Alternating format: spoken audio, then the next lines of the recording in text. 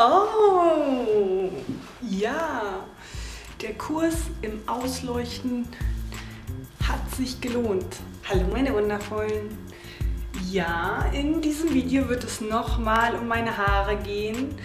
Dann können wir die fünfte Staffel der Serie Let's Talk About Dreads auf meinem Kanal abschließen. Wie ist es mir ergangen? Wie fühlt es sich an mit roten Haaren? Wie finde ich denn eigentlich meine roten Haare? Bleib dran! Also ich habe die roten Haare jetzt etwas länger als eine Woche. Ich habe auch noch mal die rote Farbe hier oben nachlegen müssen, denn es wurde schon etwas pink. Und das Vermilion Red, das ist jetzt auch alle. Ich habe nur noch so einen pupsi kleinen Rest übrig, den spare ich mir noch auf für meinen Pony. Denn was ich auch nicht bedacht hatte, bevor ich mir die Haare rot gefärbt habe, ist, dass ich meine Haare ja gar nicht wasche. Die kommen ja fast nie mit Wasser in Berührung, es sei denn, ich gehe ins Meer. Und ich war jetzt noch gar nicht wieder im Meer, die ganze Zeit noch nicht. Ich habe mich auch die ersten drei Tage gar nicht rausgetraut mit den roten Haaren, weil es einfach so eine krasse Umstellung war. Ich habe mich, ich musste mich erstmal selber wieder kennenlernen. Es ist nicht so, dass ich noch nie rote Haare hatte. Als ich jünger war, hatte ich auch mal rote Haare, aber ich hatte, glaube ich, noch nie so knallrote Haare. Nicht so ein Tomaten, Alarmrot. Also die ersten drei Tage habe ich also zu Hause verbracht, ähm, habe meinen Kleiderschrank durchprobiert und aussortiert, was ich jetzt definitiv erstmal nicht mehr anziehen kann. Dafür habe ich andere Sachen gefunden, die auf einmal richtig noch viel besser aussehen, als sie vorher schon aussahen. Zum Beispiel lila. Ja, und türkis und weiß kann ich auch jetzt richtig gut tragen.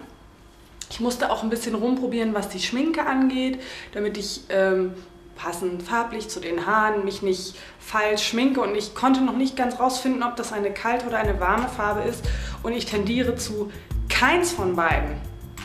Ihr könnt mich gerne in den Kommentaren korrigieren. Müssen Farben immer einem warm oder einem kalt zugeordnet werden? Kann, also was ich gemacht habe ist, ich habe mich zuerst einmal komplett kalt geschminkt und dann jetzt gerade habe ich mich warm geschminkt, aber ich sehe trotzdem blasser aus mit der warmen Schminke und komisch mit der kalten Schminke.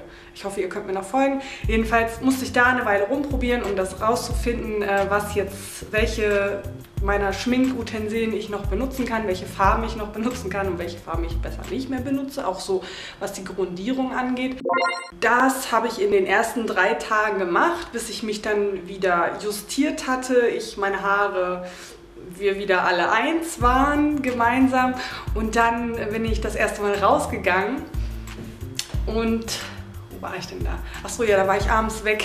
Da haben mich nicht viele Leute gesehen, aber so das erste Mal wieder rausgehen mit so einer krassen Haarfarbe, die so alarmisierend ist, das war eine Überwindung. Ja, ich musste mich überwinden. Naja, aber nachdem ich dann das erste Mal draußen war und gemerkt habe, okay, es rennt mich jetzt keiner um wegen den roten Haaren und so krass doll mehr auffallen tue ich jetzt auch nicht, wie mit den blonden Haaren. Da war das dann okay. Also ich kann jetzt wieder ganz normal rausgehen mit den roten Haaren und ich fühle mich auch wohl mit den roten Haaren. Ich finde auch, dass das eine coole Farbe ist. Ich glaube halt, dass es nicht ganz meine Farbe ist. Da kommen wir wieder auf die Skin-Color-Problematik zu sprechen, weil ich nicht genau weiß, was mein Grundton ist, meine Hautfarbe, habe ich halt auch Schwierigkeiten rauszufinden, welche Rotfarbe jetzt eigentlich auch besser zu mir passen würde.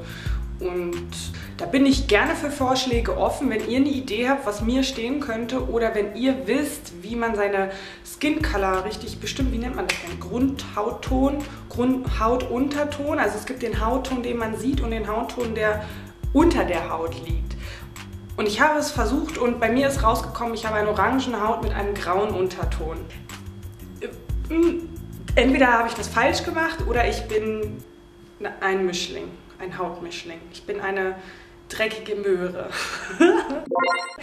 okay, so, das sind so die Problematik, an die ich nicht gedacht hatte vorher. Also ich hatte an diese ganzen Sachen mit warme Hautfarbe, kalte Hautfarbe, passt die Farbe zu mir, macht die mich blass, so wie das Blond. Da hatte ich nicht so viel drüber nachgedacht. Ich dachte einfach, ich hatte ja auch keine Auswahl. Ich hatte ja nur das eine Rot, also muss, konnte ich auch nur das eine Rot nehmen. Und jetzt, wo ich es ausprobiert habe, denkst du, ja, ähm, gerne noch mal ein anderes Rot, vielleicht aber dann in eine andere Richtung. Also entweder oranglicher oder bläulicher müsste es ja dann werden. Ne? Also, was meint ihr? Richtung Orange oder Richtung Blau? In welche Richtung soll es gehen? Das Problem mit meinem Pony hatte ich ganz am Anfang schon gesagt. Ich wasche halt meine Dreads die Längen nach nicht. Ich wasche, wenn dann nur mein Pony. Das heißt, die Farbe geht nur im Pony raus und der Pony wird dann irgendwann rosa. Ich muss einfach mehr mehr baden gehen, dann, dann werden die alle gleichmäßig rosa und dann habe ich halt irgendwann rosane Haare. Mal gucken, wie das aussieht. Das, da freue ich mich übrigens schon drauf. Wenn alle Dreads dann rosa sind, mit Ponyrosa, wie ich dann aussehe. Weil rosane Haare hatte ich garantiert noch nie in meinem Leben. Ich wusste auch nicht, dass ich mal rosane Haare haben werde, aber ich werde rosane Haare haben. Ich muss nur darauf achten, dass es sich gleichmäßig auswäscht.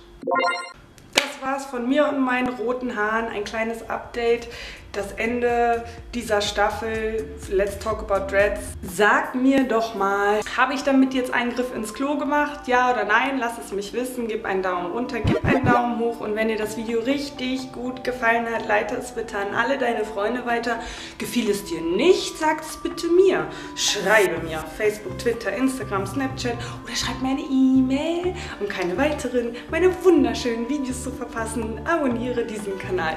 Ich bedanke mich ganz, ganz ganz doll für deine Aufmerksamkeit und wünsche dir Sonne im Herzen.